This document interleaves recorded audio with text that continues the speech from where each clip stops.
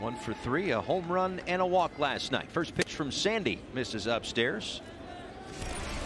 Take you back to last night. This wasn't the biggest hit of the ball game, but it certainly felt like it kind of distanced the Cardinals from the Marlins. Had an off-speed pitch, got a slider inside and kept it fair down that right three, you know, a three-run lead. He made it four. Wasn't a whole lot of offense in last night's ball game. You even think back to the the big hit that Molina had in the first. You know, it was a barrage of hits. There's a strike on the corner at 96. Led to three first inning runs for St. Louis. They, as Todd said, basically rode that all the way to a win. Race series. Sandy misses low. That one at 99. Field for this one. Payoff pitch is grounded right side. Sandy going to cover the bag and in and out of his glove on the flip from Coop. Paul Goldschmidt, Nolan Arenado on deck. Marlins have three on the left side of the infield as Goldschmidt offers at the first one. Lifts it down the right field line. Duvall coming over. He will have enough room to make the play. Still learning the surroundings down the lines as he'll uh, obviously be in. Edman on it first after what's ruled as an E1. Nolan spins away from that one hot through four games. He's got three multi-hit efforts already, including last night's game. He's done that. Blocked by Alfaro will keep Edman at first.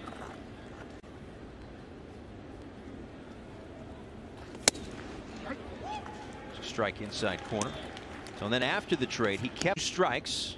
Marlins swing three to the left side against Arenado. Edman goes, swing and a miss, throw down to second is not in time. A strikeout for Sandy, that's out number two, but Edman into scoring position. Paul DeJong swings over the top of that slider, and it's nothing in one.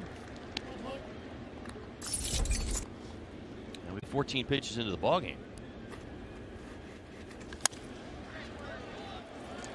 Back behind the Cardinals dugout, and that went out of play.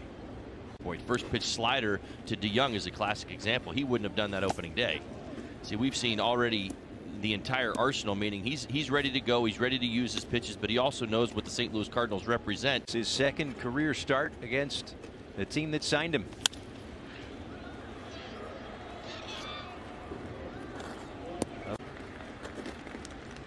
One and two to DeJong.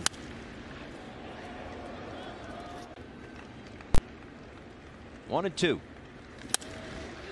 Out to left center field, coming over Marte, and Sandy works around the error. Marlins come to bat. With that, that makes more sense, but Sandy on his game early. A first pitch right there on the inside corner, a little tailing action on the sinker to Matt Carpenter, Yadier Molina, and Tyler O'Neill here in the second. Carpenter at second base. Carpenter at second base tonight. Came off the bench yesterday.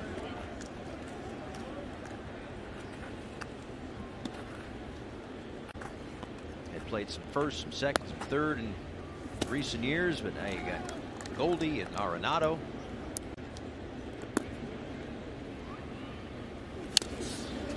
Well, I think one could argue that if Carpenter was doing what he biggest trade for sure. I think it, in a lot of ways maybe had a little bit to do with Carpenter. Slaps one out to left for Dickerson. Let's check in with Kelly Saco. The energy from last year, and I think we can argue it's even more energetic with uh, with a guy like Jazz here full time. Oh, for sure. And nobody in the ballpark to see it. This year, different story. Yadier Molina fouls it off. We are also tonight. Tonight, we will be in the clear. You don't talk to a starting pitcher the day of his start. Uh, Although Pablo would probably you talk give you to him two about minutes. pitching. I plan on talking to him about his hitting. All right.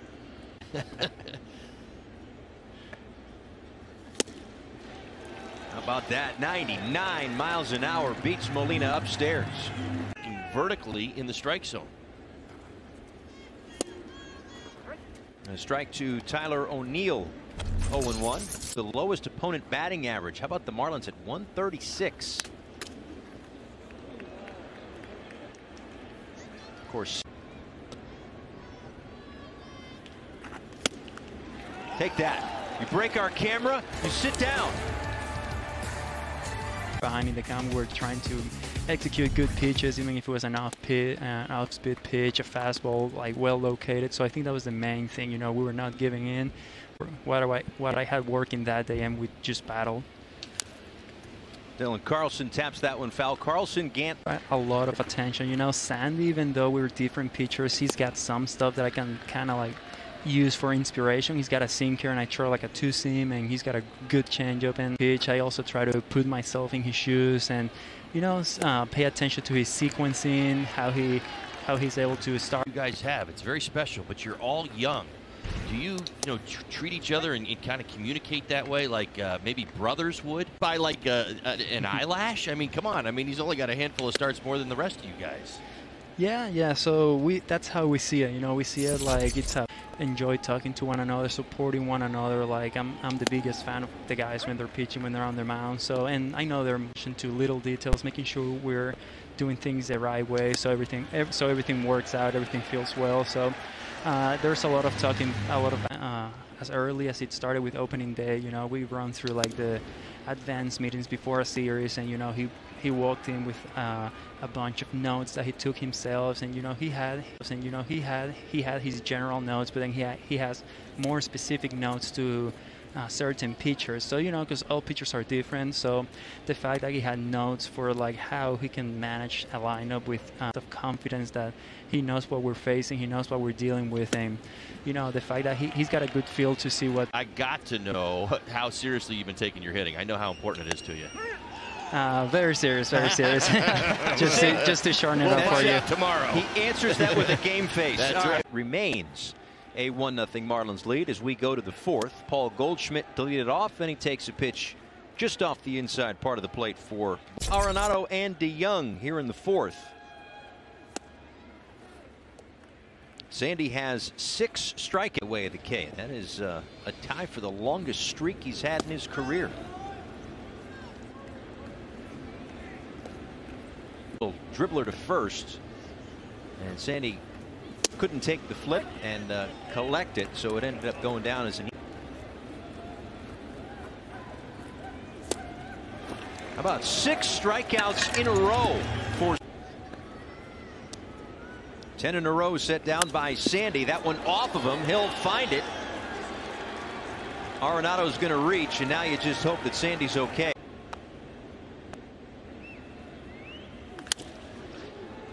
DeJong goes after the first.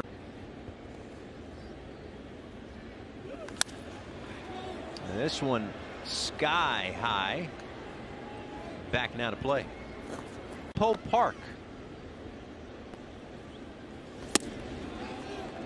Just missed. Jack Flaherty gets the start for the Cardinals. He was their opening day. Thursday, Friday off because it's the Mets opener on Thursday. Saturday and Sunday at 1. Another strikeout for Sandy Alcantara. Jerry Layne was the home plate umpire opening day fair to say the the combat right just because of the umpire rotation to kind of limit travel a little bit. You know, Marlins in this case are home for a couple of series. The umpire and crew would stay here, limit. The best at bat against Sandy tonight. He hit a ball hard to left. Browns one to the right side. That's Anderson with the shift. He'll make the play. We go to the last of the. For someone to follow. Here's a bunch of people to follow. That's going to be a base hit into center field off the bat of Yadier Molina. Second hit tonight for the Redbirds. Kelly, go ahead. I mean, you're, you're running through all. Tweet that we will get to a little bit later on. Okay. I will, uh, I'll stay here. And I will, Don't go anywhere. And I will await. It was earlier, Todd, earlier on the broadcast. Uh, about back. It, it was, I think it's called a lens, but yeah, maybe. Glass lens. Glass lens, sure. I don't know. One of the best in the biz, Mike Fernandez, is that was bad.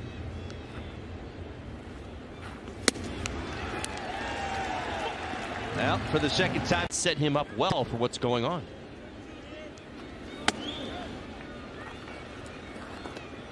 Ryan Helsley is up and throwing. Dylan Carlson fouls it, backing out.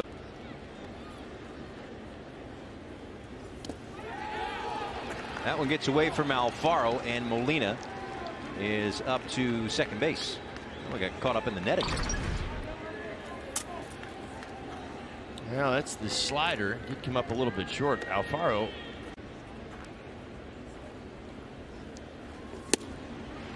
Takes a strike. Two and two. A little bit low.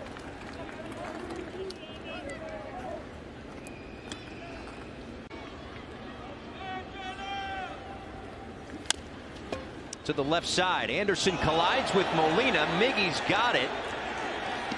And it's going to be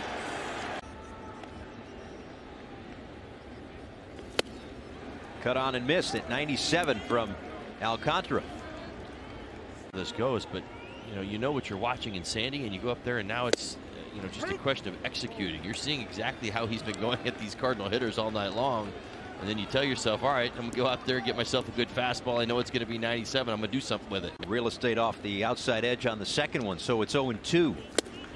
Quick work of Justin Williams. 10 strikeouts to match a 28%. And what do we say? He's at 70% with it tonight? Yes, sir. Rest his stuff and attack, but that uh, that's Sandy from a couple of years ago. This is ace Sandy stuff. Right. Well, I mean, there's no problem. Use John Gant as an example, right? We've kind of been kidding about how long some of these innings have been with runners on. But the point is, is that when you've got runners on and there's a lot going on in the mind, communication with the catcher, time seems to kind of just happen. Back up on the mound, make another pitch, catch the ball, get back up on the mound, make another pitch. To the right side, past Cooper. Chisholm gets to it and throws it a bit wide. Went under the dive of Cooper. Jazz ranging in. Now Goldschmidt.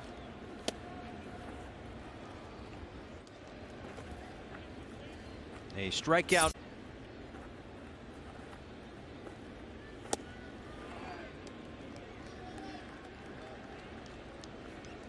Collided. That's a fielder's choice. I mistakenly called that a base hit.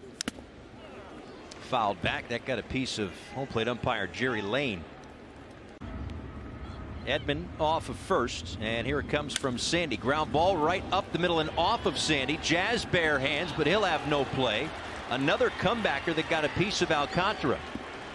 Last time it wiggle around this jam in the sixth inning. That one in the dirt blocked by Alfaro.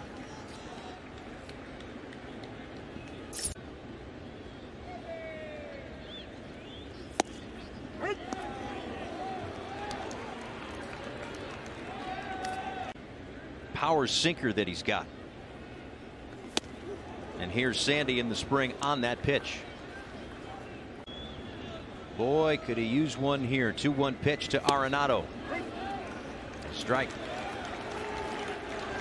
He raised when he went six scoreless.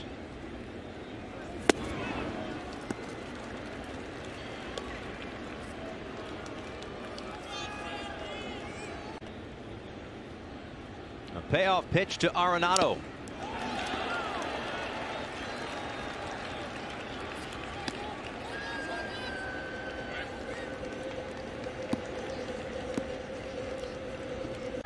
Single runs in the first and fifth.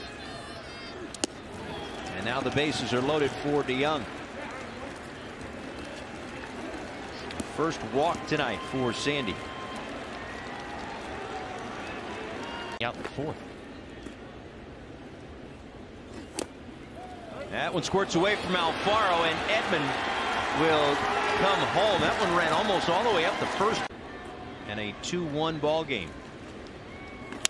Ground ball. Anderson with it. Goldie waited. He'll come home, and he'll score. They got the out at first. Cooper spun and fired home. Goldschmidt kind of dancing, hesitating. Arenado again at third. And the Marlins bring the infield in against Matt Carpenter, who takes ball one. And on the right side of the infield, Cooper at first. There is a big hole for Carpenter. Now it's interesting. Carpenter, the only Cardinal hitter not to strike out.